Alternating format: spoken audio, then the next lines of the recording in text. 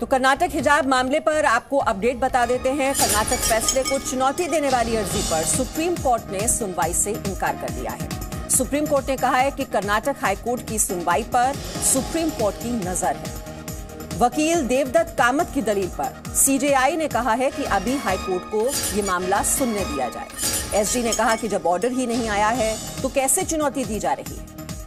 इसे राजनीतिक और धार्मिक नहीं बनाया जाना चाहिए, ये बात सुप्रीम कोर्ट ने कही है।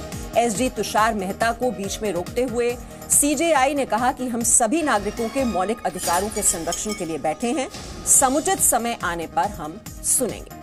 तो मामला पहले हाई कोर्ट में पहुँचा, उसके बाद याचिका दाखिल कर दी गई सुप्रीम कोर्ट में, क्योंकि कल कर्नाटक हाई कोर्ट ने अंतरिम आदेश दिया था।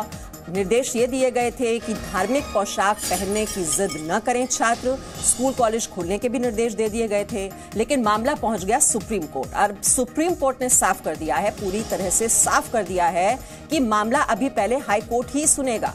उसके बाद समुचित समय आने पर सुप्रीम कोर्ट भी ये मामला सुनने के लिए तैयार है। हम सभी नागरिकों के मौलिक अधिकारों के संरक्षण के लिए बैठे हैं, ये बात सुप्रीम कोर्ट ने कही है। तो राजनीतिक और धार्मिक इस मामले को नहीं बनाया जाना चाहिए। इस बात पर ज़ोर दी है सुप्रीम कोर्ट ने। एसडी ने कहा है कि जब ऑर्डर ही अभी नहीं आया है तो कैसे चुनौती दी जा रही है? ये मामला सुप्रीम कोर्ट में क्यों पहुँचा दिया गया है? वकील देवदत्त कामत की दलील पर सीजीआई ने कहा कि अभी हाई कोर्ट को यह मामला सुनने दिया जाए और उचित समय आने पर हम भी यहाँ पर बैठे हुए हैं नागरिकों के, मौलिक अधिकारों के संरक्षण के लिए। तो कर्नाटक हाई कोर्ट की सुनवाई पर सुप्रीम कोर्ट की नज़र है। मामले को हाईकोर्ट को सुनने दिया जाए, ये सीजेआई ने कहा है। तो हिजाब का ये पूरा विवाद किस तरह से सुप्रीम कोर्ट में पहुँच चुका है? तुषार मेहता सॉलिसिटर जनरल ने कहा है कि जब ऑर्डर ही नहीं आया है तो कैसे इस मामले को चुनौती दी जा रही है? इसे राजनीतिक और धार्मिक नहीं बनाया जाना चाहिए।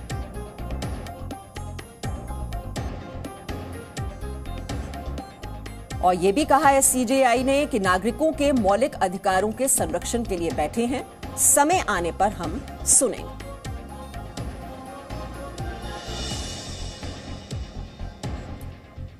तो कर, कर्नाटक हाई कोर्ट ने कल अंतरिम आदेश जारी किया था जिसके तहत धार्मिक पोशाक पहनने की इजाज़त नहीं दी गई थी कि छात्रों को इसकी जिद नहीं करनी चाहिए, लेकिन ये विवाद आप देखिए किस तरह से देश के कई हिस्सों में फैल चुका है। दिल्ली से लेकर मालेगांव, उडुपी, हैदराबाद, चेन्नई, सब जगह इस मामले को लेकर हम देख रहे हैं किस तरह से विरोध प्रदर्शन किए जा रहे हैं। तो शुरुआत जो हुई थी, वो हुई थी कर्नाटक के उडुपी में, एक कॉलेज में जब वहाँ पर छह छात्राएँ हिजाब पहनकर पहुँच गई थी, लेकिन उन्हें वहाँ आने से रोका गया था, उन्हें कहा गया था कि जो ड्रेस कोड है वही वो वहाँ पर लागू होगा। उसके बाद धीरे धीरे हिजाब को लेकर ये विरोध प्रदर्शन जो है, वो देश के कई हिस्सों में आपको इस वक्त नज़र आ रहे हैं। ये मैप के ज़रिए हम आपको दिखा रहे हैं कि इसका असर कहाँ कहाँ पड़ा है। दिल्ली, मालेगांव, कोलकाता, हैदराबाद, चेन्नई, उडुपी, मंडिया, यहाँ पर जो मुस्लिम छात्राएँ हैं, वो हिजाब पहनकर निकल रही हैं और उनका कहना है कि उन्हें, उनका ये मौलिक अधिकार है, उन्हें कैसे रोका जा सकता है? देखिए, मुझे बहुत ही दुख होता है कि ये जो हिजाब का हारर हंगामा है, इसमें सबसे पहले तो कांग्रेस पार्टी ने यूनिफॉर्म पर मिस इन्फॉर्म करने की कंपेन चलाई। उसके बाद पाकिस्तान ने अपने पाखंडी प्रयासों से जो है वो भारत के जो समावेशी सोच है, जो संस्कृत है, उसको बदनाम करने की कोशिश की। और अब पहले हिजाब, फिर किताब का स्ट्रीट का हुड़दंग।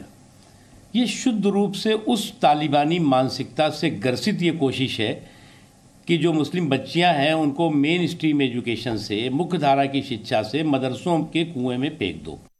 किसी भी समाज का, इस देश में वो तो यही है कि जो चाहे पहने, जो चाहे जैसे चाहे आप ड्रेसअप हो, आप कितने कपड़े पहनना चाहें, उतने पहने। जब संविधान हमको ये आज़ादी देता है तो फिर ये विवाद क्यों? और ये विवाद हमारे सोसाइटी में डिवीज़न बढ़ा रहा है। जहाँ एकता होना चाहिए, जहाँ एकात्मता होना चाहिए, बंधुता होना चाहिए, वहाँ हमारे पास हम अपने शिक्षण क्षेत्र में ये विष फैला रहे हैं। ये बहुत खराब बात है। तो मुख्तार अब्बास नकवी कह रहे हैं कि ये तालिबानी मानसिकता है। वहीं आपने सुना, एनसीपी सांसद फौजिया खान ने कहा है कि शिक्षा में राजनीति नहीं होनी चाहिए। लेकिन जो भी हम देख रहे हैं कि मामला सुप्रीम कोर्ट में पहुँच चुका है, इस वक्त ज़्यादा जानकारी ले लेते हैं।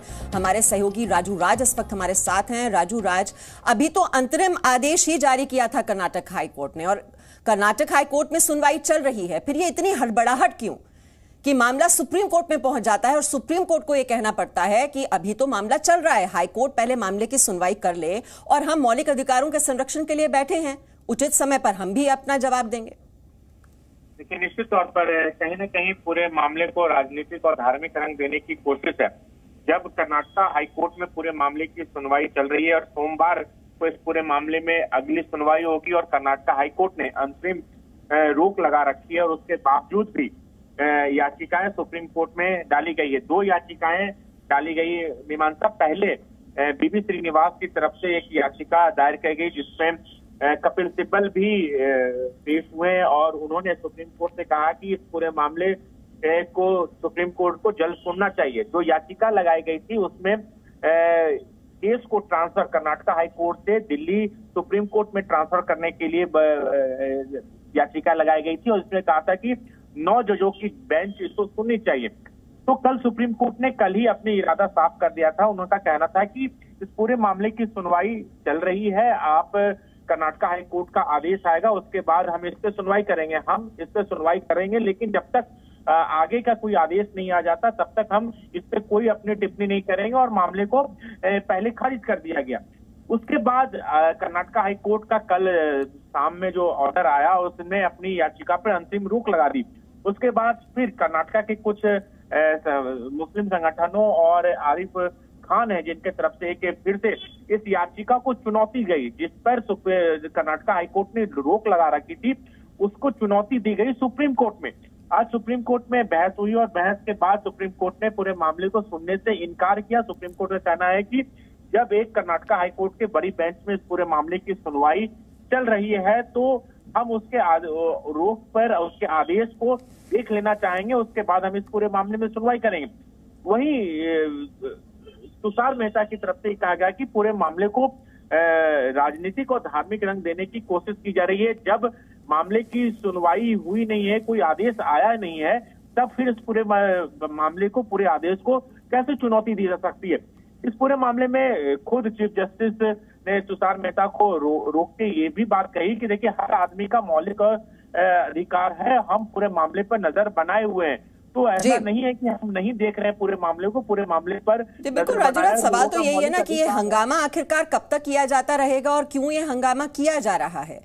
जितेंद्र शर्मा भी इस वक्त हमारे साथ हैं उडुपी से। जितेंद्र अब जब अंतरिम आदेश ही आया था अभी कर्नाटक हाईकोर्ट में सुनवाई चल रही है और कर्नाटक हाईकोर्ट ने स्पष्ट कर दिया कि धार्मिक पोशाक की जिद आप न करें। फिर सुप्रीम कोर्ट में ये चुनौती देना। अभी इतनी हड़बड़ाहट आखिरकार क्यों है? और ये जो अंतरिम आदेश आया है कर्नाटक हाईकोर्ट का, उसको लेकर उडुपी में इस वक्त क्या रुख नज़र आ रहा है? देखिए मीमांसा, जब इस मामले की शुरुआत हुई थी, हिजाब पहनने की जिद को लेकर के जब छह लड़कियाँ यहाँ पर उडुपी के पीयू कॉलेज के अंदर बैठी थी तो उसके बाद से कैंपस फ्रंट ऑफ़ इंडिया, जो कि पीएफआई की स्टूडेंट ऑर्गेनाइजेशन है, पीएफआई की जो पॉलिटिकल पार्टी है एसडीपीआई और उसकी स्टूडेंट ऑर्गेनाइजेशन है कैंपस फ्रंट ऑफ़ इंडिया ये शुरुआत से ही इस पूरे मामले को बैक कर रहे हैं बैकिंग दे रहे हैं स्टूडेंट्स को, और इस पूरे मामले को तूल पकड़ पकड़वा रखा है। जब शुरुआत में ही हमने इस पूरे मामले को लेकर के बात की थी उन छात्राओं से और कैंपस फ्रंट ऑफ़ इंडिया से जो इनकी मदद कर रहा है, तब हमने सीधा सवाल ये पूछा था कि अगर हाईकोर्ट क्योंकि हाईकोर्ट में वो गए हैं, अगर हाईकोर्ट उनके खिलाफ फैसला देता है, यानी कि जो सरकार ने सर्कुलर निकाला है कि स्कूल में सिर्फ़ और सिर्फ़ यूनिफॉर्म पहन करके ही आना होगा। किसी भी तरह के धार्मिक परिधान को पहनने की मंजूरी नहीं दी जाएगी तो क्या वो इस फैसले को मानेंगे? तब ही उन्होंने ये साफ़ कर दिया था कि अगर उनके खिलाफ फैसला आता है तो इस बात को वो बिल्कुल नहीं मानेंगे। यानी कि इसको चैलेंज करेंगे और किसी भी तरीके से इस लड़ाई को आगे तक लेके जाएँगे। तो यानी कि ये बात बिल्कुल साफ़ है, मीमांसा, कि ये पहले दिन से ही उन्होंने तय कर रखा था कि इस लड़ाई को आगे तक लेके जाना है। इस हिजाब वाले मुद्दे को मुद्दे को ना सिर्फ़ उड़ोपी और बल्कि कर्नाटक, बल्कि देश भर में फैला देना और हम देख रहे हैं कि ये मामला ना सिर्फ़ देश के अलग अलग शहरों तक पहुँच चुका है, बल्कि जो देश विरोधी ताकतें हैं या देश देश के खिलाफ काम करने वाले जो देश हैं, चाहे वो पाकिस्तान हो, अफ़गानिस्तान हो, या इस तरह के जो दूसरे लोग हैं, वो लगातार इस मुद्दे को उछाल रहे हैं। तो यानी कि मकसद पहले से ही साफ़ था कि किसी भी तरीके से इस मुद्दे को उछाले रखना है। जब कर्नाटक हाईकोर्ट में सुनवाई चल रही थी, उसी दौरान भी सुप्रीम कोर्ट में इस फैसले के खिलाफ लेकर के कि सुप्रीम कोर्ट इस मामले की सुनवाई करे। कपिल सिब्बल जो है, मामले को लेकर के पहुँचे थे। सुप्रीम कोर्ट ने तब भी साफ़ कर दिया था कि कर्नाटक हाईकोर्ट में सुनवाई चल रही है। पहले वहाँ से फैसला आ जाए, उसके बाद आगे देखा जाएगा। लेकिन उसके बाद जब बड़ी बेंच, यानी कि तीन जजों की बेंच इस मामले की सुनवाई कर रही थी और उन्होंने कहा कि सोमवार से इस पूरे मामले को लेकर के सुनवाई होगी और तब तक Presenting B News app available on Google Play and App Store. Download it now.